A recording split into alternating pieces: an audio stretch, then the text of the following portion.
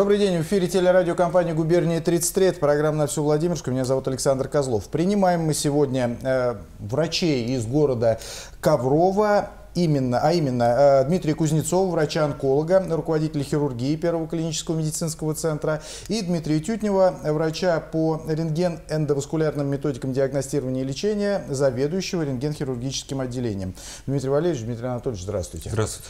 Э, уважаемые телезрители, напомню в преддверии беседы, что первый э, клинический медицинский центр, это на сегодня самая современная клиника на территории области, оснащенная оборудованием экспертного класса. Клиника в привязке э, к нашему сегодняшнему э, разговору, с одной стороны, вошедшие в систему госгарантий, то есть обслуживающие пациентов по полисам обязательного медицинского страхования, то бишь бесплатно. Э, государство за это платит, хотя сама в себе это частная клиника. С другой стороны, одно из приоритетных направлений работы первого клинического – лечение онкологических заболеваний, и вот тут подчеркну, инновационными методиками. А, Дмитрий Валерьевич, мы с вами уже второй раз встречаемся с Дмитрием Анатольевичем. А, вот когда в прошлый раз а, мы, собственно, этим заканчивали, да, методиками да, инновационными, что, что вот под этим словосочетанием инновационная методика лечения онкологического заболевания понимается? В чем инновация? Инновационная методика, ну, прям если совсем просто, это новейшие. Просто синоним это новейшие методики. Ну, если это более расширить... С классическими э, а, методиками. А, инновации это вообще любые методики, которые требуют э, высококлассных, высокоспециализированных специалистов, прошедших специальное обучение, плюс э, специализированного обычно довольно дорогого оборудования. То есть мы используем инновации в онкологии какие-то. Чем отличается традиционная операция, если мы возьмем хирургию, от инновационной? Традиционная операция, то есть пациент приходит, готовится к операции. Если мы берем опухоли брюшной полости, вскрывается вся брюшная полость, скрывается живот и опухоль удаляется, после чего живот зашивается и пациент довольно длительно, долго и тяжело поправляется. Инновационные методики позволяют обойтись без этих больших разрезов. То есть мы делаем несколько проколов на передней брюшной стенке, максимальный разрез это около сантиметра. И с помощью специальных инструментов, видеокамер высокого разрешения, у каждого из нас дома, наверное, есть телевизор Full HD, э, такие же у нас камеры используются, то есть мы работаем в четырехкратном увеличении всех органов, которые находятся в животе, и с помощью этих инструментов и видеокамеры опухоль удаляется. Что это дает пациентам? Основное, что это им плюс, это то, что период реабилитации, восстановления после операции, он просто колоссально сокращается. То есть если пациент после традиционной операции, будь то это рак желудка, онкогинекологический рак, это раки шейки матки, тела матки, рак прямой кишки, ободочной кишки, после традиционной операции, а, может стать с кровати в лучшем случае на третьи-четвертые сутки, он только может сам самостоятельно подняться и дойти потоптаться вокруг кровати, то после инновационных операций, малоинвазивных операций, лапароскопических операций, другой синоним, пациент а, в понедельник оперируется, во вторник он уже встает, самостоятельно принимает пищу, общается со своими родственниками, может пойти пройтись по коридорчику, погулять со своими детьми, со своей женой, мужем и прочими. И чувствует себя в 90% случаев просто великолепно, и он даже не понимает, что с ним произошло, была ли операция или нет. Нет болевого синдрома, нету слабости послеоперационной. То есть реабилитация, как таковая, понятие реабилитации после этих операций, оно отсутствует. Это э, касается всех видов рака? А, в нашем центре э, мы можем оперировать практически все опухоли, которые находятся в животе лапароскопическим доступом. Это и рак желудка, и рак, э, первичный метастатический рак печени, это рак толстой и прямой кишки. И э, вся гинекология, так назовем это, это раки шейки матки, тела матки, раки яичников, у нас оперируется практически в 100% случаях э, лапароскопически, то есть мини-инвазивно. В целом у нас э, соотношение процентное открытых и мини-инвазивных операций, то есть мини-инвазивных операций у нас порядка 70%. Вот эти 30% остаются, это бич и в других странах, и в нашей стране тем более, это ранние диагностики. То есть опухоль, которые достигают определенных размеров, то есть это громадные опухоли, которые занимают практически половину брюшной полости, к сожалению, мини-инвазивные методики здесь мы применить не можем.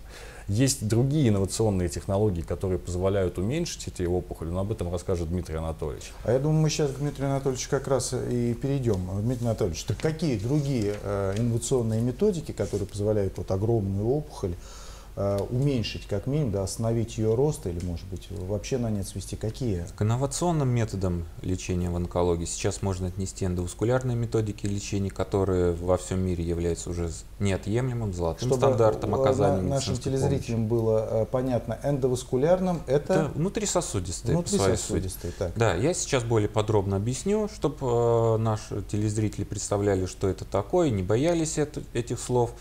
А, мы делаем обычный прокол на периферических артериях. Это либо бедренная артерия, лучевая артерия. Через сосудик под контролем рентгена заводим в э, орган, пораженный новообразованием микрокатетер, вводим контрастное вещество, которое мы видим под рентгеном, находим непосредственно сосуд, питающий э, опухоль, и его закрываем различными эмболизирующими агентами, будь то микроспирали, эмбосферы, клеющие вещества различные. А для чего, для чего вы этот сосуд закрываете? А, закрываем мы его для того, чтобы э, когда опухоль развивается на образовании, ей требуется большой приток кислорода, питательных элементов. Когда мы перекрываем, опухоль перестает питаться, соответственно, она перестает активно размножаться, расти, и она начинает уменьшаться в размерах. Соответственно, ее рост останавливается. Помимо... Это, это подготовительный этап э, к хирургическому вмешательству или это самостоятельная методика, что вот так вот мы остановили сначала, а потом она сама по себе без кислорода, без питания и как бы схлопнется? Это хороший вопрос. Э, мы можем его разделить и как подготовительным этапом вести, так и самостоятельным, в зависимости от типа онкологического процесса, с которым нам обратился пациент. Если это доброкачественный, например, миома матки небольших размеров, принципе, мы можем перекрыть не кровоток, миома уменьшится до абсолютно минимальных размеров, что полностью перестает, либо полностью исчезает, беспокоить пациента. Если же это злокачественное новообразование, то в данном случае мы применяем химиоэмболизирующие э, терапии, то есть мы, я отдаю специальный препарат сухой, высушенный микросферы э, Дмитрию Валерьевичу, он подбирает конкретному пациенту индивидуальное химия вещество, мы совместно вводим в это э, сперва сухие препараты, э, флакончик э, химия вещество, которым они впитывают. Соответственно, на насыщение уходит несколько часов буквально, они увеличиваются в размеры, насыщают себя выданным химией препаратом, после чего я этот агент ввожу непосредственно в саму опухоль. Этим я достигаю нескольких этапов. Во-первых, я отключаю кровоток в саму опухоль и останавливается ее рост. Если это метастазы, то здесь можно говорить о том, что небольшие метастазы могут полностью уничтожаться на ранних этапах. Если это маленькое новообразование совсем небольших размеров, на ранних этапах также убивается опухоль, но в большинстве случаев останавливается ее рост и она уменьшается. Помимо этого в опухоль доставляется максимальное количество в ее ткань химии вещества, что, э, что делает саму по себе терапию значительно эффективнее. И когда уже а Дмитрий вот, Валерьевич идет тут, на операцию... Извините, угу. тут перебью. А, вы сказали, что саму химиотерапию это делает значительно эффективнее. Ну, э, насколько мне известно, сама химиотерапия для пациента очень тяжелое испытание. Да, и даже есть такое выражение, что э, это то лекарство, э, которое в каком-то смысле убивает не только опухоль, но и самого пациента. Главное, чтобы опухоль погибла раньше. Вот с точки зрения воздействия на пациента, вот такой, такая методика, которой пользуетесь вы. Такая методика оказывает минимальное системное воздействие на пациента она достигает максимального воздействия на саму опухоль, но минимально действует системно. Пациент ее переносит очень хорошо, нет такого выраженности побочных эффектов. То есть сказать, что абсолютно их нет, я не могу. Но эффективность ее значительно выше, побочные эффекты крайне низкие. То есть пациент фактически может даже не заметить, что у него какие-то эти действия химиотерапии есть. Помимо этого, вещество вырабатывается значительно длительный период времени, но достигает концентрации значительно больше, чем мы будем вводить внутривенно. А ведь вот, э, может быть, дилетантский вопрос, если я чего-то напутаю, извините. А, насколько я знаю, ведь э, различные препараты могут применяться для э, химиотерапевтического лечения. Вот при таком подходе если вдруг э, там, с течением времени выясняется, что вот именно этот препарат не дает необходимой э, положительной динамики, э, проще заменять на другой препарат или это не принципиальное значение? Мы можем в любой момент замениться на другой момент. Если мы перекрыли кровоснабжение к опухоли, во-первых, мы достигаем того, что опухоль уже не кровоснабжается, соответственно, она получает, уменьшается ее рост или полностью останавливается рост. За счет остановления роста и она начинает уменьшаться в размерах. Если существуют какие-то другие питающие сосуды, и мы видим, что первое вещество оказалось неэффективным, мы с Дмитрием Валерьевичем подбираем другое вещество, мы можем перекрыть дополнительные питающие сосуды, либо мы можем выполнять селективную просто э, эмболизацию, без эмболизирующего фактора, так называемую потоковую химию. Мы будем вводить в саму артерию, непосредственно ближе к опухоли, новый химический агент, который а, может оказать дополнительное воздействие на саму опухоль. Э, как быть э, в таком случае? Вот ведь рак очень часто это прерогатива людей пожилого возраста. Э, людей уже возрастных, за 50, за 60. А к этому возрасту, как правило, у них развивается масса э, сопутствующих э, и там заболеваний хронических. Как вот то, что вы делаете, сочетается вот с лечением, с борьбой с этими заболеваниями, которые не относятся к онкологии, но они есть. Как это вот две методики, разные методики сочетаются между собой? А, любая мини-инвазивная методика это всегда приоритетная методика для, именно для пожилых пациентов, потому что этапы и вехи развития лапароскопической хирургии, любой мини-инвазивной хирургии, они проходили от э, сначала полного ура, да, делаем, до потом полного отрицания. А сейчас э, очень часто пациентам пожилым за 80, за 90 лет в традиционных операциях вообще отказывают, потому что ну, пациент просто не сможет пережить, потому что в любой хирургии есть понятие операционный доступ, как этап операции. Операционный доступ это вот разрезание всего живота, лапаротомия. Uh -huh. Сам по себе доступ очень травматичен, он очень много приносит негативного влияния на весь организм. Соответственно, мини-инвазивные методики полностью убирают этот этап операционного доступа. То есть и пациенты, организму уже не надо бороться уже не вот надо с теми бороться повреждениями. То, да, с тем, что сделал хирург для того, чтобы угу. перейти к удалению опухоли. То есть мы этот этап полностью минуем. Угу. И, соответственно, для пожилых пациентов это, наоборот, наиболее приоритетная хирургия, мини-инвазивная. А, наш центр многопрофильный. То, о чем вы сказали, что у пациента обычно есть, как это принято говорить, букет заболеваний. Иногда этот букет заболеваний не позволяет, он позволяет ему жить, он живет, чем-то болеет, а принимает лекарства, а лечить а, онкологию, которая однозначно его убьет, если ее не лечить, он не позволяет. Соответственно, наш многопрофильный центр, который сочетает в себе массу специалистов, у нас представлены практически все хирургические специальности и все терапевтические специальности. То есть мы тут обращаемся к нашим терапевтическим специальностям. Пациента нужно подготовить к операции, ему нужно вылечить, скомпенсировать его сахарный диабет. А mm-hmm. люди иногда к нам приходят, которые, у которых сахар в два раза выше э, нормального уровня, но они об этом даже не знают. В этом состоянии пациента оперировать нельзя, потому что после операции этот сахар вырастет еще выше. Соответственно, Соответственно, наши эндокринологи, терапевты, кардиологи осматривают пациента, составляют ему план лечения. И то есть за кратчайшее время, которое мы можем сделать, потому что все эти специалисты сконцентрированы в одном центре. Мы можем подготовить буквально за неделю, за две пациента для того, чтобы он мог э, получить свое хирургическое лечение или химиотерапевтическое. А пациент при этом находится у вас? Да, конечно. Конечно. Если он поступил, он, он пришел с обследованием, да, и мы видим у него проблемы с сердцем, давление с давлением, э, с сахаром крови, еще какие-то проблемы. Естественно, мы созываем всех наших коллег терапевтических специальностях, и они начинают осматривать пациента. Каждый, каждый отвечает за свое, но в итоге, когда мы собираемся все вместе, 5, 6, 9, 10 человек врачей, в итоге мы лечим все-таки не болезнь, а лечим человека и подготавливаем его уже к операции. Неважно, это будет мини-инвазивная, традиционная, в зависимости по показаниям. А, Дмитрий Анатольевич еще забыл упомянуть, что главный плюс его специальности, его методик, что у нас уже было несколько таких пациентов прошло. Когда пациент приходит к нам, у него выявляют опухоль, которая не операбельна. То есть я как хирург ее не могу удалить, потому что она... Из-за размера? Из-за размера. Из-за даже иногда не так важен размер, а анатомическое расположение, когда опухоль врастает в сосуды когда опухоль затрагивает, э, может быть, она небольшая, но она затрагивает жизненно важные структуры, которые нельзя трогать во время операции, удалять. И благодаря химиоэмболизации или просто эмболизации, когда мы либо перекрываем просвет сосуда, чтобы лишить опухоль поступления питательных веществ или кислорода, либо же совместно уже вводим и максимальную дозу химиопрепарата, соответственно, с течением времени, неделя, две, три, месяц, опухоль уменьшается в размерах эффект э, достигается практически в 80-90% случаях мы можем уменьшить опухоль.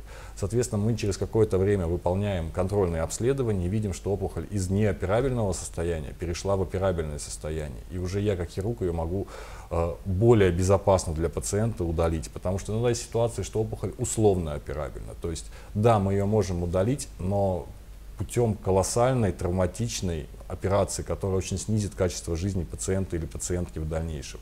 Когда опухоль уменьшила, мы уже переходим к стандартному объему, не к расширенному, и то есть качество жизни пациента снижается в дальнейшем гораздо меньше. А, а у вас, а, ну я имею в виду, вы возглавляете именно сосудистое отделение? А. Я возглавляю фактически весь сердечно-сосудистый центр. Помимо основное мое направление это кардиохирургия, периферическая хирургия, но в сердечно-сосудистом центре включено отделение кардиологии плановой и неотложной, включены сосудистая хирургия и рентген-эндоваскулярная хирургия. Но, но вы э, всегда, э, как бы, э, когда речь заходит о лечении именно онкологии, да, то есть вы в связке работаете с Дмитрием Валерьевичем, да, Э, то есть вы, э, собственно, выносите вердикт, да, насколько готовы сосуды, э, как я понимаю, может быть это не так, насколько готовы сосуды пациента вот к тем манипуляциям, которые ему предстоят. Вот в этом задача. Ну, фактически вы правы, но требуется подготовка. Мы работаем в очень тесной связке с Дмитрием Валерьевичем. Он к нам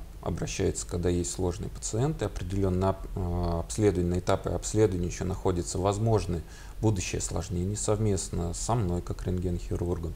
Приглашаем нашего ведущего сосудистого хирурга Дмитрия Геннадьевича. Э, принимаем решение, какой, как эффективно будет лечить данного пациента. Бывает, что опухоли прорастают э, крупные магистральные сосуды, и здесь без определенных шунтирующих, протезирующих, либо э, графт стентирований просто не обойтись. Поэтому мы предварительно выполняем различные методики дополнительного а, лечения, которые улучшают а, в дальнейшем оперативное лечение для Дмитрия Геннадьевича. Ой, для Дмитрия Валерьевича, прошу. А, вот, То есть иногда бывает ситуация, когда опухоль прорастает в магистральный сосуд. Допустим, возьмем подвздошную артерию. То есть опухоли малого таза, это и гинекология, и колоректальный рак, часто достигают таких размеров, когда затрагиваются магистральные сосуды. То есть для понимания, подвздошная артерия питает всю ногу. То есть если эту артерию пережать, кровоснабжение в ноге нарушается и требуется ампутация. Соответственно, очень много пациентам отказывается в операции, потому что ну, мы не можем ну, этого сделать. Смысле, Когда центр не обладает... У вас нет, или, или нет, в других центрах, других где не располагают либо техникой сосудистых операций, либо нет своего сосудистого хирурга. У нас есть свой сосудистый хирург, который оперирует исключительно сосуды, поэтому в момент операции, когда я оперирую, я заканчиваю со своим этапом выделения опухоли, то есть остается только ее отсечь вместе с сосудом. Мы приглашаем нашего сосудистого хирурга, сосуд отсекается, и Дмитрий Геннадьевич наш ставит либо протез сосуда, либо сшивает, если дает возможность, просто без протеза. И, соответственно, количество пациентов, которые мы можем прооперировать и не отказывать в операции по причине, это очень сложная хирургическая ситуация, когда опухоль прорастает сосуда. Но у нас этот вопрос решаемый, потому что у нас есть сердечно-сосудистые хирурги, сосудистые хирурги, есть и мини-инвазивные методики, стенд, граф стентов, установки сосудов и просто анастомозирование, сшивание сосудов. У нас есть сосудистый хирург Вы, вы два раза упомянули Дмитрия Геннадьевича, это, я так понимаю, сосудистый хирург. Да, это наш ведущий сосудистый хирург угу. центра. Угу. Э, ведь э, у людей может быть э, значительное количество вопросов, которые, ну вот так вот с бухты-барахты, и даже сейчас, наверное, беда для вас интернет, когда люди сами заходят, сами себе диагнозы и сами лечение устраивают. Да? Доктор Google. Да, доктор Google. Да? Можно ли дистанционно у вас в центре получить какую-то консультацию? Да, дистанционно у нас можно получить. Для этого у нас действует так называемая наша горячая линия. А, телефон 8 800 551 99 71. Куда может позвонить любой человек. Он свяжется с колл-центром, а дальше уже его свяжет с необходимым специалистом, где он получит абсолютно полную консультацию и ответ на э, те вопросы, которые его волнуют. А вообще, э, как часто звонят и с чем звонят вообще люди? Звонков поступает нам очень много. Звонят с тем, что люди не знают, куда им обратиться, что им делать, когда поставлен диагноз э, онкологии. Имеется длительное ожидание в очереди, и многих беспокоит э, вот это вот состояние, где и мы, соответственно, максимально быстро стараемся помочь данным пациентам, объяснить, что их ждет, и подготовить, если к нам они обращаются на конкретную операцию или конкретному специалисту уже отправить. Многие пациенты просто, когда на них сваливается такой диагноз, как рак, онкология, когда им говорят, что у вас онкология, даже не говорят конкретно, что за рак, где за рак, они просто совершенно не понимают, куда им идти. То есть все ну, в принципе, любой человек не всегда знает, что есть там областной онкодиспансер, который должны обращаться. Есть еще какие-то клиники, которые занимаются лечением. И человек на, находится в информационном вакууме. Он просто, у него есть бумажка, обычно с гистологией, в которой написано аденокарцинома, рак. А куда с этим идти дальше, как обследоваться, что делать, где нам сделать обследование, где нам нужно лечиться, как нам нужно лечиться. Никто в большинстве своем никто не знает. Начинается обращение к Google, в которой э, куча рекламы из зарубежных клиник и московских клиник, которые кто-то выполняет это, кто-то выполняет то, и человек не знает. Поэтому очень много у нас обращений по горячей линии, именно что нам делать дальше, на которые мы всегда можем ответить вопрос, приходите к нам на консультацию и даже мы не всесильны, мы не все, не все можем лечить в рамках э, довольно хоть и крупного центра частного, но мы не федеральный центр, uh-huh, да, uh-huh. не все мы можем лечить. Поэтому ну, мы хотя бы можем человека обследовать, сориентировать и вас... сказать, куда ему обратиться. Но ведь у вас, что. насколько я помню, э, подписан договор э, с Московским научно-исследовательским центром имени Герцена. То есть, в принципе, при необходимости позвонившего человека вы можете проконсультировать с помощью тех специалистов? Да, естественно, мы пользуемся, скажем так, назовем это услуги телемедицины, мы проводим консилиум с НИИ Герцена, то есть сложные пациенты, которые нуждаются в обсуждении нескольких специалистов-онкологов, ведущих научных сотрудников НИИ Герцена.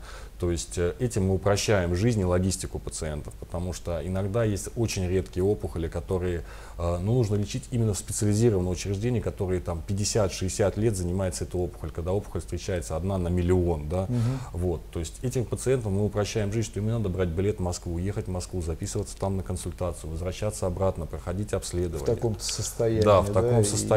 Это вся логистика. То есть мы проводим консилиум, составляем и план обследования. Возможно, если в условиях если на первом этапе не требуется какая-то хирургия, мы можем провести ему химиотерапию, и потом пациент уже после проведенной химиотерапии поедет стабилизированный, да? поедет не Герцена, допустим, или какие-то другие учреждения, кто занимается. Поэтому это очень упрощает То есть правильно жизнь. ли я понимаю, что э, к вам может обратиться человек э, фактически с любым видом рака, и даже если вы именно вот по, на, на этих видах не специализируетесь, да, как, э, как в прошлый раз вы говорили, абдоминальные, Э, да, абдоминальная онкология да, в основном. Онкология, да. То есть, если какая-то друг, какой-то другой вид рака, сами, может быть, вы не прооперируете его, не поможете, да, да, да. но вы его выведете на те пути, по которым нужно дальше Все идти. верно. Составить план лечения, провести, допустим, предоперационную химиотерапию, потом его уже отдать коллегам, которые занимаются. Ну, допустим, мы не занимаемся таракальной онкологией, угу. мы не оперируем. Таракальная это, это рак легких. Легкие. Угу. Вот, э, мы их не оперируем. Но пациентов, допустим, даже с этим заболеванием мы можем провести предоперационную или послеоперационную химиотерапию. И всегда в плане обследования и коррекции логистики пациента, куда ему дальше обратиться, куда пойти, чтобы человек не находился в вакууме, потому что просто для всех этот диагноз шока, человек сидит дома и не знает, что делать, и, и некоторые пациенты все-таки такие остаются, которые решают для себя, я ничего не понял, не понимаю, мне страшно, я лучше буду сидеть дома и не буду лечиться. То есть в этом плане пациентам мы помочь можем, чтобы хотя бы направить вселить какую-то уверенность, что когда человек знает, что делать, это уже полдела решено. Когда он знает, что делать, куда идти, что сначала надо сходить сюда, потом сюда, обследование такие, и потом я обращусь туда уже, и меня начнут лечить. Потому что многие пациенты, правда, не знают совершенно, что с этим делать. У них есть бумага, с которой они не знают, куда пойти. Я бы а, добавил, наверное, да? что такую вещь, что пациент, когда выставлен диагноз, он действительно попадает в вакуумное пространство, не знает, что ему делать. Я бы хотел сказать, что недели ожидания дома, они приводят к тому, что потом будет просто месяцы очень длительного и тяжелого лечения. Поэтому, если что-то нашли, беспокоили, вас беспокоит, лучше сразу обращаться к специалисту, который дальше вас направит к тому специалисту, который будет необходим конкретно вам. Давайте еще раз э, номер э, горячей Номер линии. горячей линии Первого клинического медицинского центра 8 800 551 99 71. 8 800 551 99 71. Это номер горячей линии э, первого клинического медицинского центра, э, самой современной клиники, действующей на территории нашей области, которая занимается онкологией. Э, У нас вышло время, я вынужден завершать программу. Я напоминаю, гостями были э, сегодня врач-онколог э, Дмитрий Кузнецов, э, руководитель хирургии Первого клинического медицинского центра и врач по рентген эндоваскулярным методикам диагностирования и лечения Дмитрий Тютнев. Дмитрий Анатольевич также заведует рентген-хирургическим отделением первого э, клинического медицинского центра. Спасибо вам большое. Э, думаю, не, последний раз мы с вами встречаемся. Э, спасибо за, за то, что нашли время, приехали.